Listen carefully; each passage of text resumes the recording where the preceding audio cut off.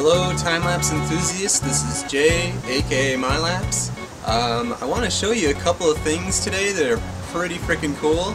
Uh, first of all, the, the Dynamic Perception MX2 controller can control the Panasonic line of cameras, so the G1, the GH1, the up-and-coming GH2, uh, and also some of their smaller compacts. The Micro Four Thirds system is really cool. I'm a big fan of it. So I'm pretty excited that we can now control this camera with the MX2 controller. Today I'm going to show you something sort of unique that our system can do.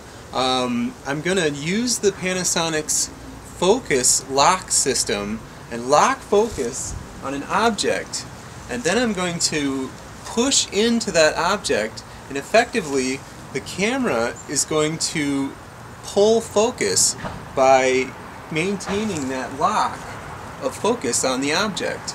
So I'm going to let this go over a good period of time here, maybe an hour or so. It's very sunny out right now, so we should get some pretty interesting shadow play, uh, not only on the object, but also in the background. Alright, here's my setup with the Panasonic GH1. Uh, here's the MX2 controller. I'm also going to show you some of the new firmware features on the MX2. We're still waiting on the enclosure. It's being manufactured right now, so hopefully we'll be able to show that to you really soon.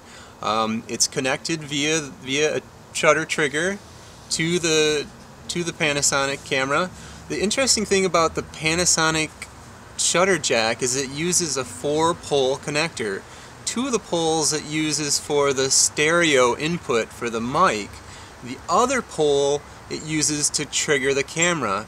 The weird thing is that it uses resistance to tell it to focus and to tell it to shoot. Um, all that's taken care of in this in this cable. You can see there's a little box right here and what that does is that sends the correct resistance to the camera to tell it either to focus or to fire the shutter. Okay, so here's my setup. For the moment I've disconnected the uh, motor so I can sort of test um, what it looks like as I come in. I had to set the lens to a somewhat long focal length. Uh, it's at 50, which is about the equivalent to 100 on the Micro Four Thirds sensor. Also, this this stock lens doesn't have the biggest aperture. I think it's about 5.5 is the max for it. So to get a nice depth of field effect going on, I had to effectively um, zoom in pretty close. Alright, here's the MX2 um, loaded with the latest firmware. We've got some new features in here, so I'll kind of show, the, show you those as I go here, um, showing you how I set up this particular shot. Um, for this one I'm going to use a 10 second interval. Uh, we've added tenth of a second to the interval so you can actually get uh, tenth of a second intervals or I, should say you can get tenth of a second granularity uh, in your interval. so that's one new feature of the new firmware. So let's put it to 10 for this particular one. Um, the other thing that we have added to the firmware is fixed move shoot mode. And let's go into the menu system so I can show you where that is. I'm going to go into the menu system using the far left button go down to axis 1 which is this this axis right here. Go in um, and then down here is a setting called fixed SMS and that means fixed shoot move shoot. And let's go in and you can see I've already got it set on right now. So what it's going to do is basically it'll it has a fixed amount of movement per shot. So each shot it'll take a shot and then it'll move a fixed amount.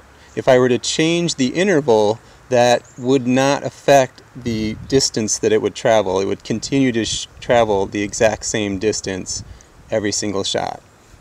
Hopefully that makes sense. So I'm going to go back out of this menu system and back to the top. Uh, and so what I have set here is 0.1 inches per shot. So about a tenth of an inch per shot as we move in to this particular object. I think that will work pretty well. So there's a couple of settings I had to set up in the camera area here. So let's go down to the camera and enter.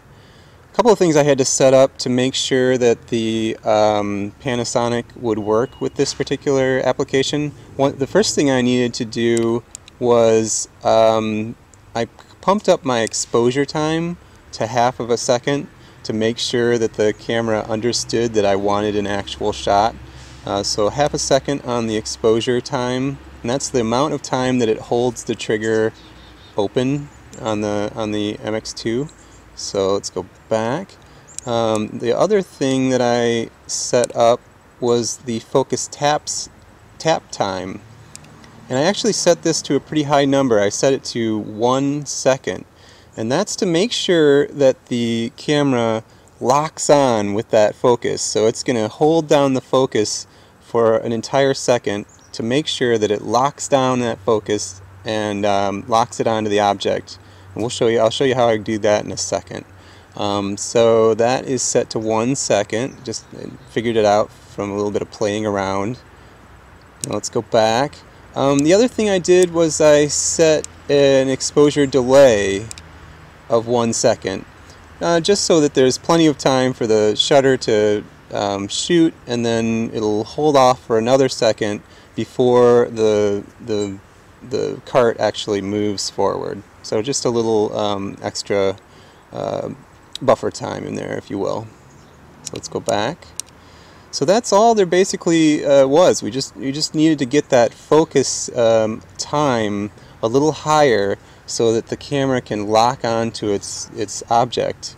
So now let's look at the way the um, GH1 is going to lock on. So to get the GH1 to lock onto your object, you'll need to press the left button in the uh, four button array on the back of the camera. So I'm going to press the left button and the second setting here is the focus lock setting. So I'm going to choose that and then I also have the camera set to autofocus single or AFS on the, on the body. So once you set that up, you get a, um, a sort of box right in the center of the of the screen, and by by pressing the shutter, we lock on to that object. So I'm holding down the shutter only to its focus level. It's locked on. Now I'm going to press all the way to get a test shot. Looks it's looking a little underexposed here. I better uh, I'm losing all my light, so there we go. Let's bring our exposure up. Actually, I'm going to overexpose it just a tad, just so that as it gets darker here, it'll stay in focus. So now, if you can see that, there's actually, it's green, and it's a small box, and it's locked onto my object, and even if I move it a little bit here, it'll, it'll, it'll actually keep locked on that object. You can see there, it moved a little bit. It's, now it's it's totally locked onto that object. So even though my camera is going to move forward, it's going to actually focus every time and it's locked onto that particular object. So now let's get this thing going and uh, see what happens. Okay, so like I said, I have it all set up. I'm going to go ahead and start the system. Uh, oops, I got it going the wrong direction. Let's make it go the right direction.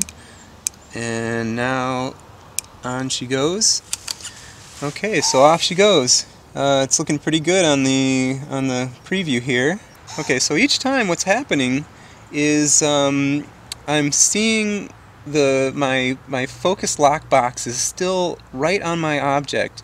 It's uh, actually right in the middle of my my little gremlin here. Um, each time I can see the one second focus tap and I can see a green box appearing saying yes I have actually you know made focus on the object. Um, then we can hear the trigger firing. Boom there it goes. And after the trigger is fired it moves on to its uh, next position